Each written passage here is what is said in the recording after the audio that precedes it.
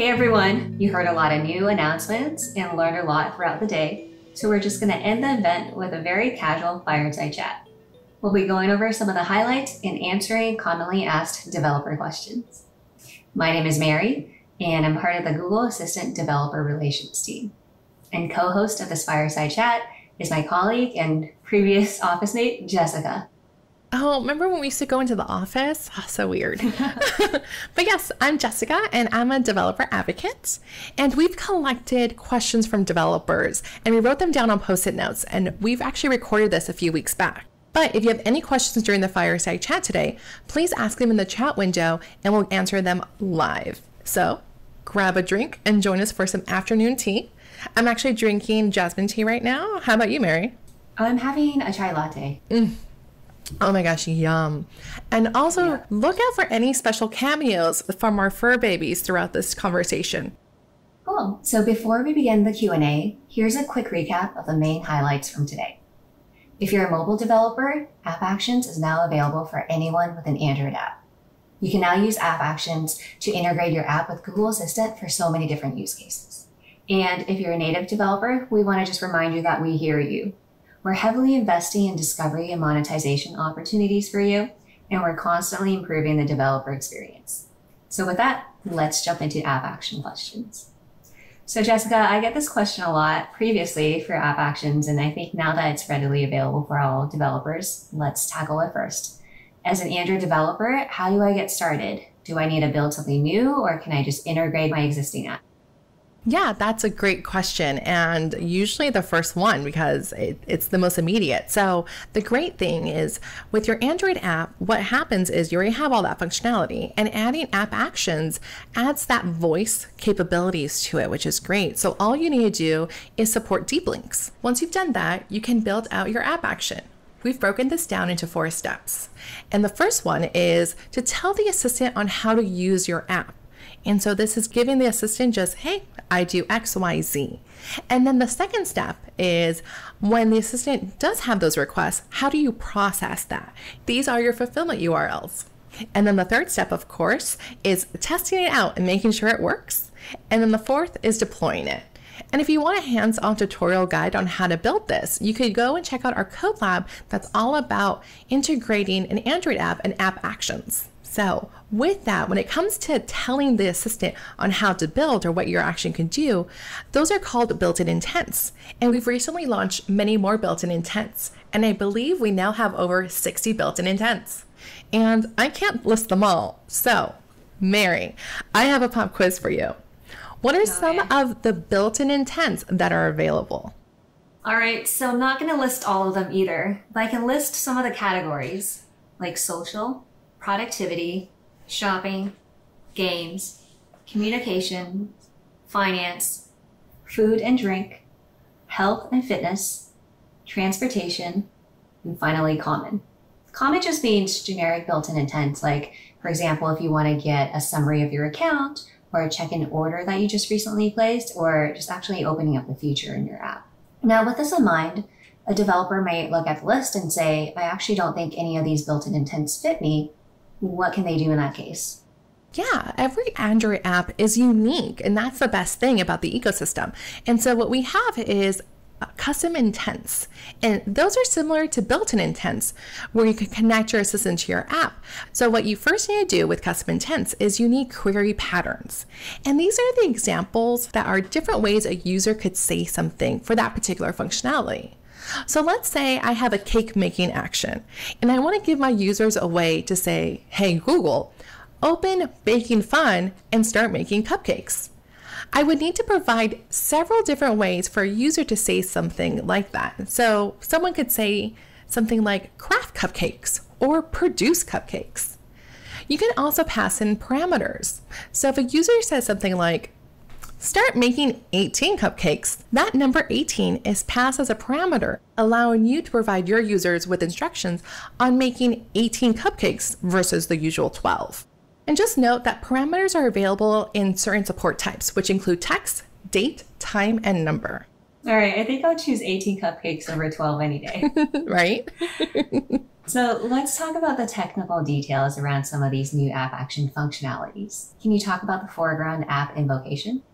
Yeah, of course. So with foreground app invocation, this allows built-in intents to be matched without requiring the app's name to be mentioned while a specific activity is in the device's foreground. In other words, users can talk to the app to quickly get things done. And so if a user says something like, order me a ride to Mountain View, the app can use that input to set the destination field to Mountain View. You could also add this functionality by updating your actions.xml file and adding the required foreground activity attribute along with a new intent.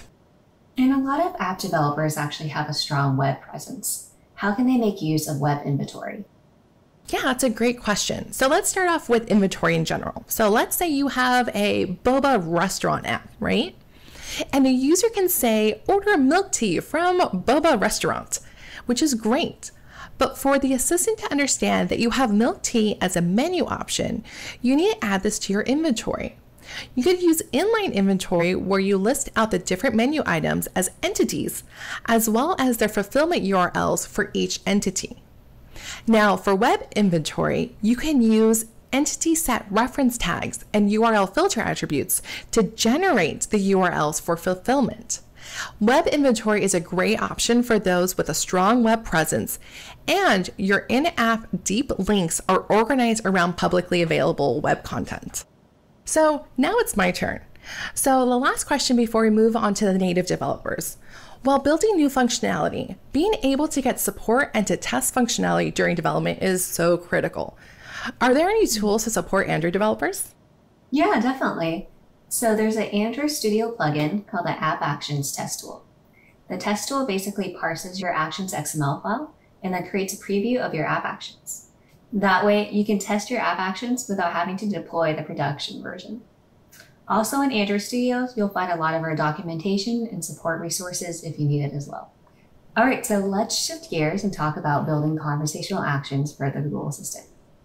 Now, before we get into the questions, Jessica is going to recap some of the major announcements in this area. Yeah, so we announced two new English voices for our developer community. And this really takes advantage of the improved proximity models and will sound even more natural.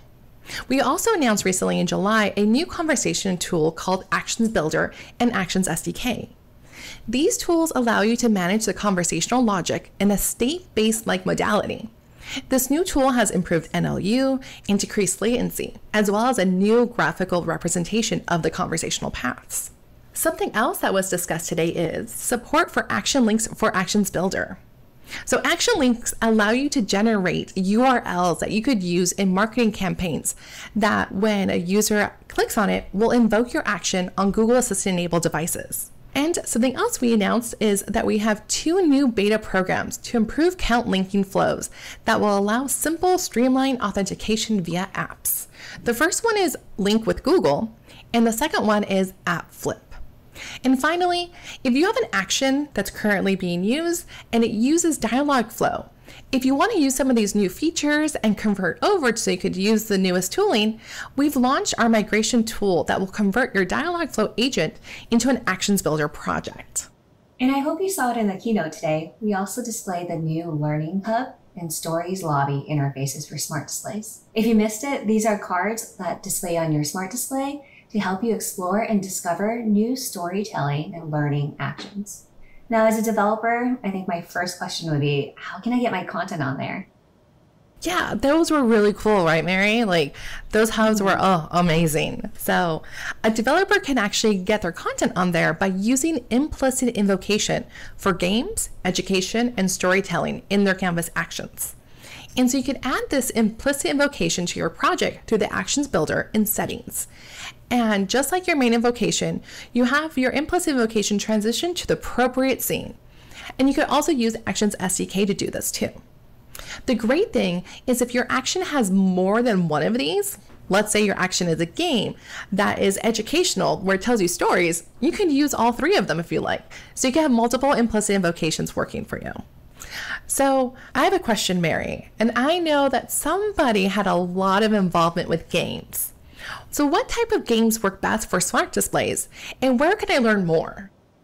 Yeah, we have to admit, we probably planted this question because we wanted to talk about it. Over the last few months, we actually took on the role of being game developers ourselves, just so we could use our tools to build cool new games for smart displays.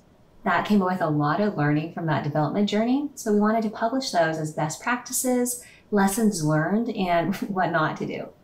Uh, so, as you may have heard, there's a new Assistant Games portal. This is our new website for game developers. And on there, you'll find these new sources, for example, the new game design guidelines and case studies for how we built these games.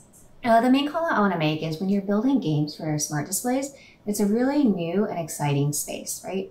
There's new interaction models where you're using your voice as a primary mode of gameplay and having these really rich graphics sit in your players' homes. But another way of thinking about it is you're just actually elevating your existing game design expertise with unique capabilities from the Google Assistant. So there's a lot of familiarity with that as well. And when you're building these games, we used a couple of core assistant technologies such as Interactive Canvas and the new Actions SDK. Jessica, can you talk a little about how these products work together? Oh, yeah, totally. So, Interactive Canvas connects the visual and the interactive app with an action.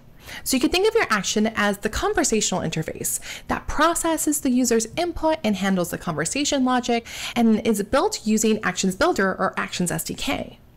Now, your web app contains the visuals, the animation logic, and that's built using HTML, CSS, and JavaScript. And by using Interactive Canvas API, you are connecting these two. So, for example, when a user says something like, turn the screen blue, the action handles the user's input, uses scenes to manage the conversation logic, processes that, and generates a Canvas response along with metadata for the device. And this metadata most likely will contain the color blue.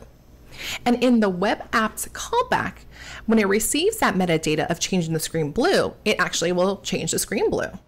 Now, one cool benefit of smart displays is being able to combine visuals and audio really nicely.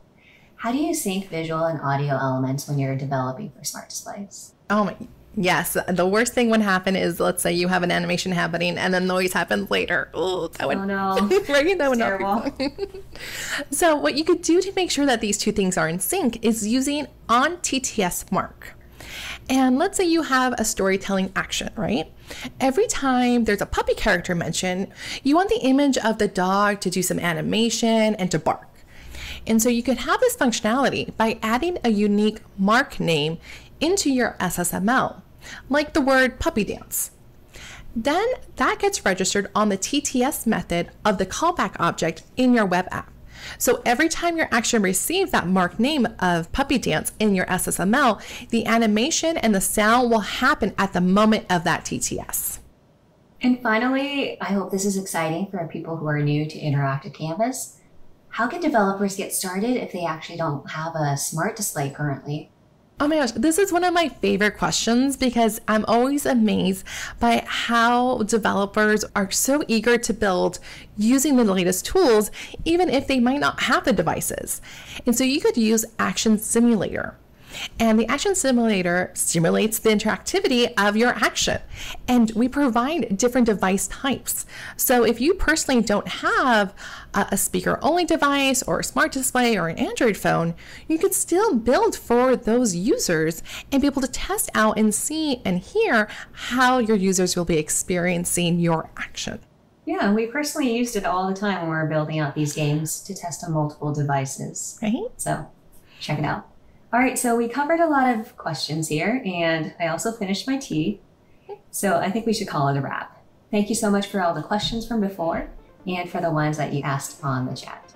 Yeah, and if you want to get connected to our community, uh, check out our Twitter account, Actions on Google. That's where we post up all our announcements and join our Reddit community. That way you can ask questions and hear from other action developers.